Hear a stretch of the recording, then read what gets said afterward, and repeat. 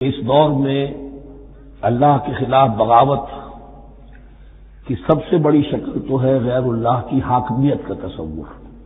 سب سے بڑا شرک یہ ہے۔ نفسیاتی اعتبار سے سب سے بڑا شرک مادے پر توکل۔ بتوں سے تجھ کو امید خدا سے نو امیدی، مجھے بتا تو صحیح اور کافری کیا ہے۔ لیکن یہ نفسیاتی اور داخلی بات ہے۔ خارجی اور واقعاتی دنیا میں سب سے بڑا شرک اس وقت وہ غیر اللہ کی حاکمیت جو اب عوامی شکل اختیار کر گئی، عوامی حاکمیت۔ اور اس کے بعد اس وقت کے گناہوں میں، بد عملی میں سب سے بڑا فساد جو ہے وہ سود کی بنیاد پر ہے۔ سب سے بڑا فتنہ، سب سے بڑا فساد۔ دنیا میں جو اس وقت سب سے بڑی شیطنت ہے، جو یہودیوں کے ذریعے سے پورے گلوب کو اپنی گرفت میں لینے کے لیے بےتاب ہے وہ یہی ہے جو سود کا حد کرتا ہے۔ اس کی حرمت۔ یہاں ایک سوال میرے ذہن میں کبھی کبھی پیدا ہوتا تھا کہ یہ جو پہلی آیت ہے، اس کا تعلق تو انفاق فی سبیل اللہ کے ساتھ ہے۔ اسے پچھلے رقو کے ساتھ شامل ہونا چاہیے تھا۔ لیکن بعد میں یہ حقیقت مجھ پر منکشف ہوئی کہ بڑی حکمت کے ساتھ اس آیت کو اس رکوع کے ساتھ شامل کیا گیا ہے۔ وہ حکمت میں بعد میں بیان کروں گا۔ الدین یونفقون اموالحم بل ونہا وہ لوگ کہ جو اپنا مال خرچ کرتے رہتے ہیں۔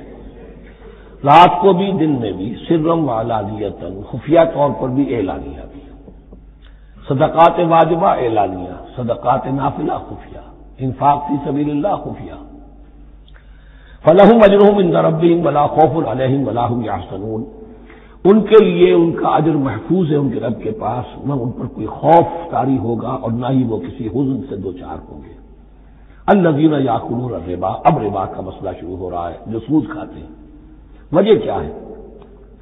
اصل مسئلہ ہے اس سرپلس ویلیو کا۔ آپ کا کوئی شغل ہے، آپ کی ملازمت ہے، آپ کما رہے ہیں، آپ کا خرچ پورا ہو رہا ہے کچھ بچت بھی ہو رہی ہے۔ اب اس بچت کا اصل مصرف کیا ہے؟ یہ سلون کمادا یون فکون اللہ. اصل راستہ تو یہ ہے کہ اس کو دے دو اللہ کی راہ میں، یا محتاجوں کو، یا اللہ کے دین کو. لیکن اب جو سود خورانہ ذہنیت ہے، وہ یہ کہ اس بچت کو بھی مزید کمائی کا ذریعہ بناؤ. یہ سود خورانہ ذہنیت ہے. لہذا اصل میں سود خوری انفاق کا ضد ہے. اور یہ عہدہ مجھ پر کھلا جبکہ القرآن و یفسر و باز بازا اس اصول کے تحت جب سورہ روم کی آیات کا میں نے مطالعہ کیا۔ وہاں یہی شکل آپ کو نظر آئے گی کہ ان دونوں کو مقابلے میں لایا گیا ہے۔ اللہ کی رضا جوئی کے لیے انفاق اور ربا، سود پر رقم دینا۔ رما آتے تم ربن یرب وفی اموال الناس فلا یرب اند اللہ جو کچھ تم دیتے ہو سود پر کہ وہ بڑھے لوگوں کے مال میں۔ محنت وہ کر رہا ہے اور آپ اس کے اس کی کمائی میں سے آپ وصول کر رہے ہیں اپنے اس سرمائے کی وجہ سے۔ تو یہ گویا کہ آپ کا مال اس کے مال میں اس کی محنت سے بڑھ رہا ہے۔ اللہ ماں تم ربن یرب وفی اموال انداز فلا یرب و اند اللہ۔ اللہ کے ہاں بڑھوتری نہیں ہوتی۔ وبا تم من زکات تریدون وجہ اللہ۔ ہے فولا کام المطرفون اور وہ جو تم زکوٰۃ اور صدقات میں دے دیتے ہو، اللہ کی رضا جوئی کے لیے تو وہ ہے جو دوہرے چوہرے کر رہے ہیں۔ ان کا مال بڑھ رہا ہے، اس کی بڑھوتری ہو رہی ہے۔ تو انفاق کی سبیل اللہ، صدقات، زکوٰۃ، اس کے بالمقابل، اس کے برعکس ہے۔ اپنی اس بچت کے مال کو، اور آپ کو معلوم ہے آج کی بینکنگ سسٹم کا سب سے زور بچت بچت بچت کی اسکیم۔ اور یہ سب کا سب جو ہے در حقیقت saving bank saving account save کرو۔ لیکن سیو کرو مزید کمانے کے لیے۔ سیو جو ہے، اس لیے نہیں ہے کہ اپنا پیٹ کاٹو اور غربا کو دو۔ اپنا اسٹینڈرڈ آف لیونگ کم کرو اور اللہ کے دین کے لیے خرچ کرو۔ یہ نہیں، بلکہ اس لیے کہ وہ جو تم بچاؤ، وہ ہمیں دو تاکہ وہ ہم سود پر زیادہ رقم، زیادہ شرح سود پر دوسروں کو دے اور تھوڑا شرح سود تمہیں دے دیں اب اس کے برق سے الگین یا قرون اور جو لوگ سود کھاتے ہیں۔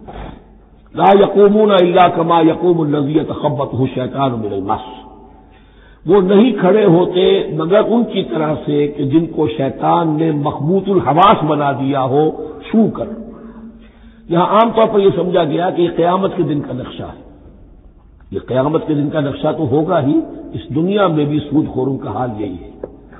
اور اگر ان کا نقشہ دیکھنا ہو تو کسی اسٹاک ایکسچینج کو جا کے دیکھ لیجیے معلوم ہوگا دیوانے ہیں، پاگل ہیں، چیخ رہے ہیں، دوڑ رہے ہیں، بھاگ رہے ہیں۔ وہ انسان نہیں نظر آتے، اس وقت جو بھی کچھ ہو رہا ہوتا اسٹاک ایکسچینج کے اندر۔ محبوط الحواس انسان جو ہے، وہ ہو جاتا ہے۔ یہ سود خوری کی وجہ سے۔ اللہ یاقن الربا لا یقومون اللہ کما یقوم النبیت خبت شیطان بن البس ظال کب کالو انمل بے مسل الربا۔ اور ان کے سب سے بڑھ کر محبوط الحواس ہونے کی کا مزل یہ ہے یہ اس لیے کہ وہ کہتے ہیں کہ بے بھی تو ربا کی طرح ہے بے بھی تو سود ہے۔ میں نے سو روپے کا مال خریدا، ایک سو دس میں بیچ دیا، دس بچ گئے، یہ ربا ہے۔ را با ہا، جائز ہے۔ سو روپے کسی کو دیے اور ایک سو دس لیے، یہ سود ہو گیا۔ بھائی کیوں ہو گیا؟ سو روپے کی شہ دے دی، یہ سو روپیہ دے دیا، کیا فرق پڑا؟ دس لاکھ کا مکان بنایا، چار ہزار کے قرضے کے بہانہ کرائے پر دے دیا، جائز ہو گیا۔ دس لاکھ کسی کو دیا اور اس سے چار ہزار روپیہ مہینہ لینا شروع کیا، یہ سود ہو گیا، حرام ہو گیا۔ عقلی طور پر یہ باتیں ہیں کہ جو سود کے حامیوں کی طرف سے کہی جاتی ان نمل بے مسلم ربا بہ میں بھی جو نفع ہوتا ہے رم اور ربا، یہ میں اس کو بیان کر چکا ہوں، سورہ بکرا کے دوسرے لوگوں کے جیون میں۔ تو یہ جان لیجیے کہ اس ظاہری سی مناسبت کی وجہ سے ان کا مخبوط الحواس لوگ جو ہیں، وہ اس دونوں کے اندر کوئی فرق محسوس نہیں کرتے۔ یہاں اللہ تعالیٰ نے ان کے قول کا اپنی جواب نہیں دیا۔ بلکہ جواب کیا دیا؟ احل اللہ البیا حرمت ربا اللہ نے بے کو حلال قرار دیا ہے اور ربا کو حرام قرار دیا ہے۔ اب تم بات یہ کرو، اللہ کو مانتے ہو یا نہیں؟ رسول کو مانتے ہو یا نہیں؟ قرآن کو مانتے ہو کہ نہیں؟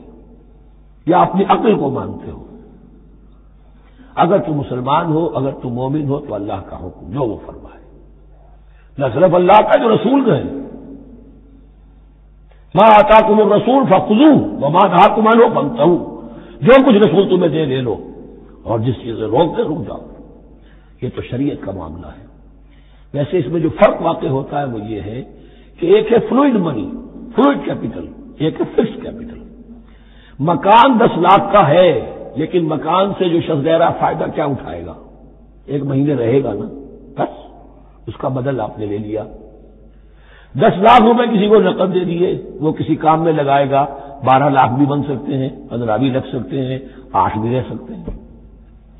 اس میں آپ نے فکس جگہ لیا، یہ خراب ہے۔ ان دونوں میں اگرچہ عام طور پہ کہا جائے گا، یہ بھی کیپٹل ہے، وہ بھی کیپٹل ہے۔ مکان بھی تو سرمایہ کی ایک شکل ہے، لیکن یہ فکس کیپٹل ہے، اس کی شکل بدل نہیں رہی ہے۔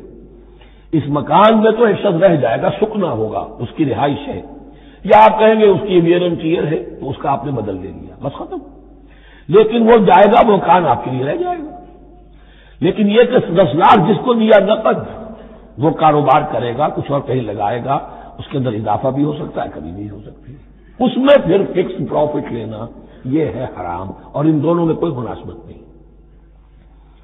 لیکن اللہ تعالیٰ نے یہ جواب نہیں دیا۔ جواب دیا اللہ المیا محرم ربا فمن جاہ موجود رب ہی فنتہا فلح ما سلف۔ تو جس شخص کے پاس اس کے رب کی طرف سے یہ نصیحت پہنچ گئی اور وہ باز آ گیا، رک گیا فلح ما سلف۔ تو جو کچھ پہلے وہ لے چکا ہے وہ اس کا ہے، وہ اسے واپس نہیں دیا جائے گا۔ حساب کتاب بھی کیا جائے گا۔ کہ تم اتنا سود کھا چکے ہو، واپس کرو۔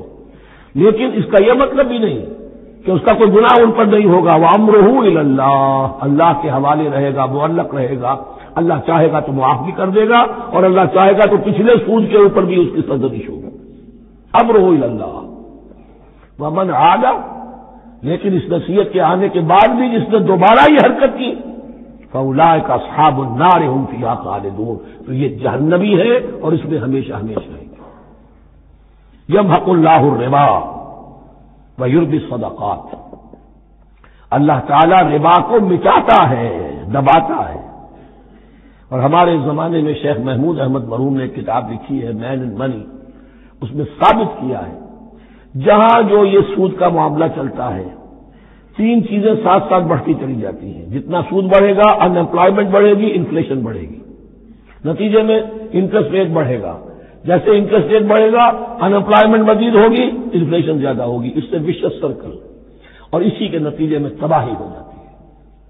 چھپی رہتی ہے وہ تباہی۔ وہ تو ایک ہی وقت میں بینک کرپٹ ہوگا کوئی بینک بڑے بڑے بینک جو ہے دیوالے نکلیں گے۔ ابھی جو کوریا کا حشر ہو رہا ہے اور جو اس سے پہلے روس کا ہو چکا ہے، یہ سارا جو ہے، یہ یوں سمجھیے شیش محل کی طرح ہے۔ اس میں تو ایک پتھر پڑے گا تو ٹکڑے ہو جائیں گے ومن آد فولا کا صاب النار حفیہ خالدون یم حق اللہ ربا ویرب صدقات اللہ تعالیٰ پالتا ہے۔ صدقات کو پالتا ہے، بڑھاتا ہے۔ اللہ کے ہاں۔ وہ آیت میں سنا چکا ہوں آپ کو سورہ روم کی۔ انتالیسویں آیت ہے یہ۔ وما آتے تم ربن یربو وفی اموال الناس فلا یربو عند اللہ وما آتے تم من زکات تريدون وجه الله فاولئك هم المضعفون۔ واللہ لا یحب کل کفار نسیم اور اللہ کو ہرگز پسند نہیں ہے وہ سب جو ناشکرے ہیں اور گناہ گار ہیں۔